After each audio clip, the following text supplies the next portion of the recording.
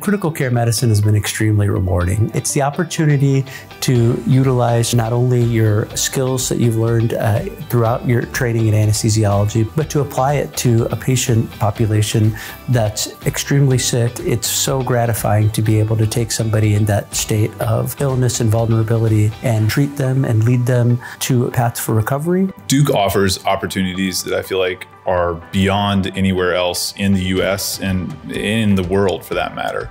The surgeries that are done here aren't done anywhere else in the world. Things that, you know, are maybe once in a career cases for someone who might work in a less acute setting, I feel like get to see on a weekly basis. Our fellowship experience is unique. It builds upon this complex patient population, ties in the traditional modes of teaching and learning, such as didactics, uh, as well as interactive modes, uh, such as simulation, skill sessions.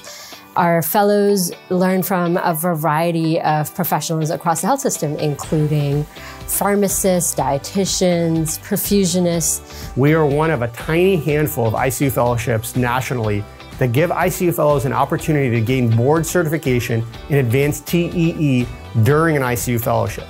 We love living in Durham. I think Durham is a very vibrant, very energetic place that is excellent for a variety of people. And so we really enjoy as a family hiking, not just in the Duke Forest area, but there's um, there's several state parks that are close by. Uh, they have a lot of hikes that are child friendly. Durham, Chapel Hill, Raleigh, this triangle is so great for families and be able to get around quickly and easily. I don't think you're ever going to meet uh, a mom with a career who's like, yeah, that was the perfect amount of time. Um, but I felt really supported. My faculty, who I was working with on a day to day basis, the administrative faculty, my co-fellows, APPs that I was working with in the unit, the residents, everyone was really supportive. Critical care medicine is more than just bedside medicine. Um, it is also about being an effective leader in uh, the ICU space. It is about collaborating with other consultants and being an excellent communicator.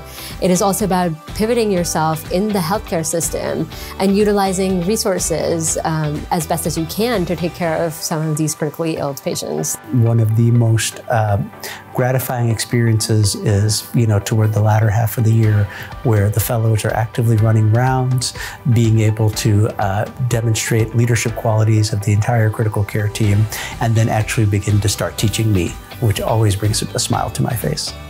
It's a fantastic place to train and learn at, and we have an amazing environment, an amazing group of people that you can learn from.